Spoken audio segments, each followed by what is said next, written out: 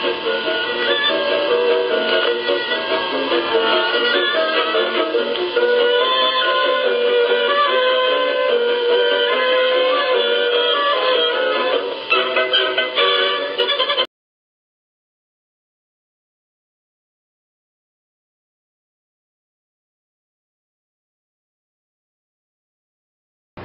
gente, tudo bem?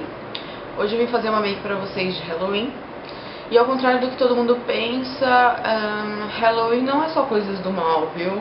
Assistam os desenhos por aí Vocês podem ver que as crianças sempre estão vestidas de fada, de coisinhas normais Então, na real é uma festa fantasia, né?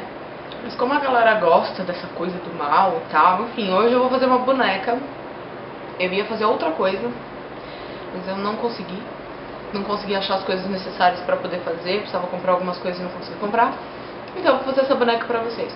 O foco, na verdade, não vai ser a maquiagem, então eu vou acelerar, vou fazer a maquiagem rapidinho. Vocês podem ver que eu tô só com base. Aliás, deve tá horrível, né? Mas eu vou fazer rapidinho porque eu vou fazer um machucado desse lado aqui, tipo um rasgo, com coisas que você tenha na sua casa. Então a maquiagem é simples, é rápida, o único truque é deixar o olho maior, então passar o lápis branco abaixo mesmo, aqui. Enfim, vocês vão ver como funciona. E eu vou acelerar, tá bom? Então vamos ver como faz essa make.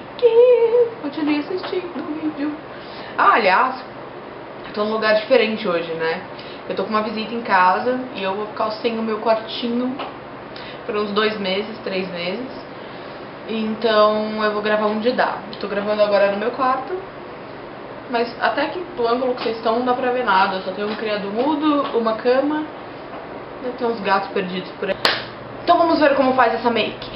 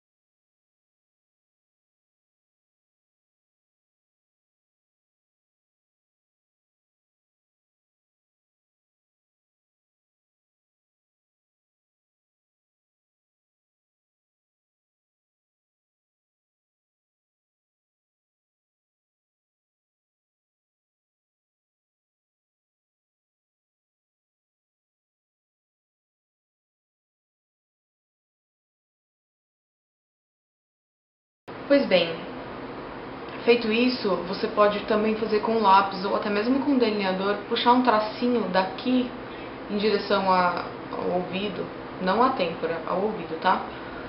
E fazer cortinhos, como se tivesse cortado. Ou você pode fazer a sua opção, tá?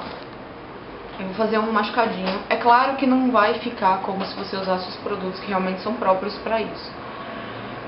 E outra também, pelo amor de Deus, não coloque em áreas próximas do, dos olhos, enfim, faça um teste antes. Eu fiz um teste na mão, no dorso da mão, pra ver se não ia me dar nenhuma alergia e tudo mais. Tomem cuidado. Depois fica com a cara toda emperebada, vem falar que a culpa é minha.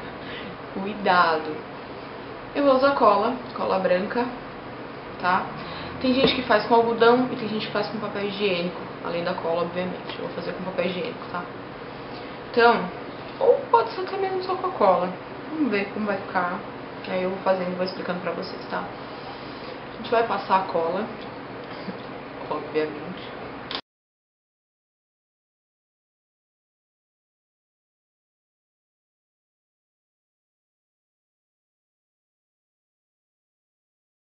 Pega no cabelo, fica linda. Seguinte, eu acho que a gente pode pegar um a bundinha de um pincel e separar, ou até mesmo o próprio bico da cola tá escorrendo para baixo.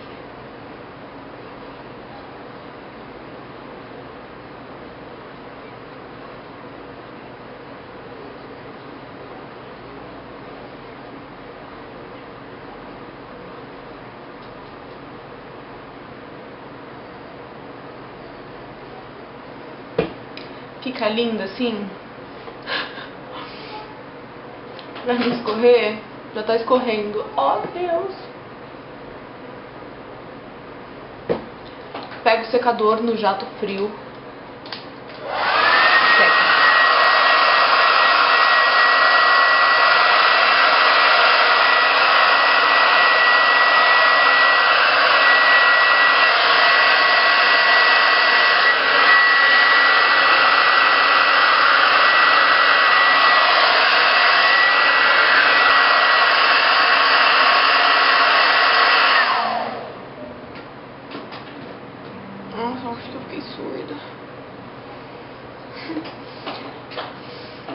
Gente, 15 minutos com o secador.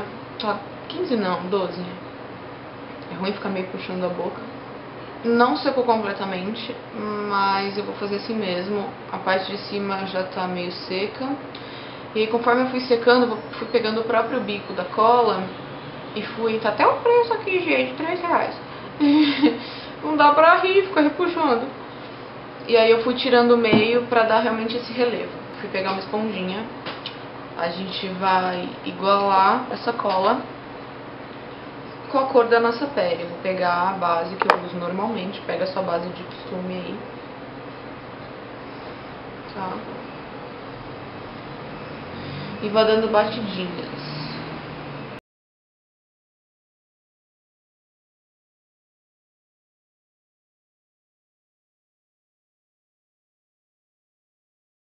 Bom, gente, dá pra fazer sangue artificial também, tá? Você pode fazer com corante alimentício e glucose de milho, que é mais barato do que mel.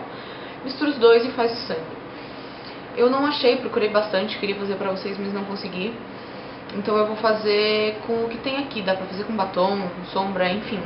Se vira que vai ficar legal com o que você tem na sua casa. Pode ser gloss, pode ser o que for, tá? Vamos aproveitar o batom que a gente usou preto na boca. Vamos sujar mais um pincel. E vamos fazer do lado de dentro umas pontinhas, assim, tá?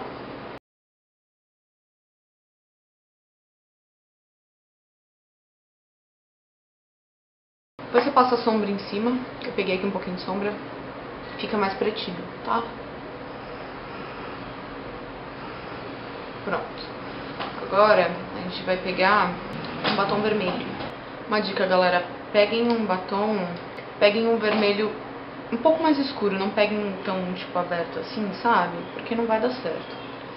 E você preenche esse meio aqui.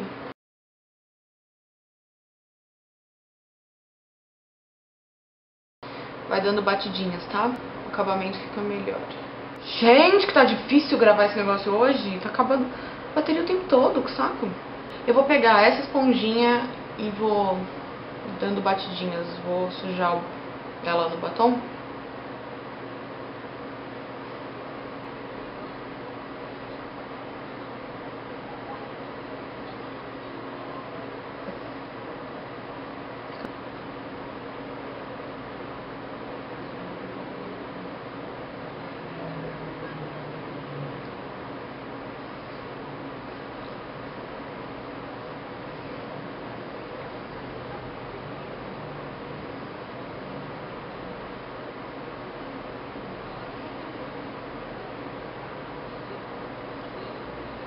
É isso, bigodudas, eu usei um batom, dei batidinhas assim com o pincel, tá? Pra dar esse efeitinho, mas eu coloquei bastante batom mesmo, quase acabei com o batom, tá todo destruído. Um, façam do jeito que vocês quiserem, façam no pescoço, na testa, enfim, só cuidado com os olhos, por favor. Aproveitem as festas e eu vou acabar logo e fotografar porque o calor tá insuportável, eu tô com dor de cabeça e a maquiagem tá caindo tudo já. tô toda escorrida, o suor tá horrível. Até a próxima, gente. Beijo no bigode.